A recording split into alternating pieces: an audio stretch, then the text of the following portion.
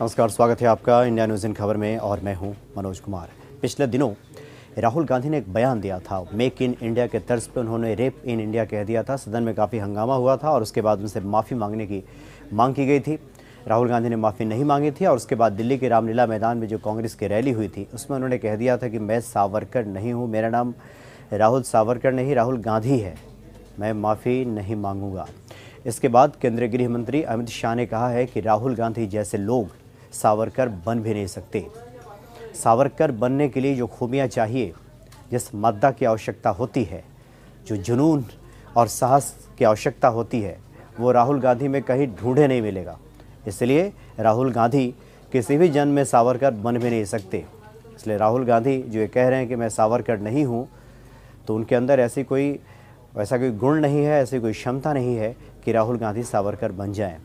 राहुल गांधी ने राहुल गांधी की इन बातों पर अमित शाह ने कुछ पंक्तियों का सहारा लिया। उन्होंने कहा कि राहुल गांधी ऐसे व्यक्ति हैं जिनके बारे में कहा जा सकता है कि ये सुविधा पे बिके हुए लोग, कुहनी पे टिके हुए लोग और करते हैं बरगद की बात, गमले में उगे हुए लोग। इस तरह की बातें अमित शाह ने कही है कि राहुल गांधी तो सुविधाओं पे बिके हुए लोग हैं, ये कुहनी पे टिके हुए लोग हैं। ये क्या जाने कि आंदोलन क्या होता है, संघर्ष क्या होता है? ये लोग बरगद की बात करते हैं, ये गमले में उगे हुए लोग हैं।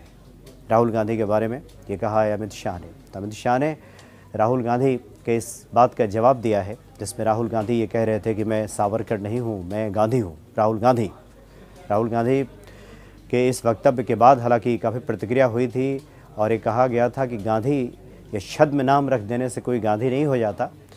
गांधी वाली खूबियाँ, गांधी वाली काबिलियत उसके अंदर नहीं आ जाती। राहुल गांधी को उस वक्त भी आलोचना हुई थी, जिस दिन उन्होंने बात कही थी। अब अमित शाह ने काफ़ी कराड़ा प्रहार किया है और उन्हें ये कह दिया है कि उन जैसे लोग जो सुविधाओं पर बिके रहते हैं, जिन्होंने किसी संघर्ष को न जाना है, न समझा है, वो भला क्या सावरकर को समझेंगे और सावरकर की बात करेंगे। इसलिए राहुल गांधी किसी भी कीमत पर, किसी भी जन्म में सावरकर नहीं बन सकते। वो जो है, वो वही रहेंगे। फ़िलहाल इतना ही। नमस्कार। इन खबर चैनल को सब्सक्राइब करें और बेल आइकन दबाना ना भूलें।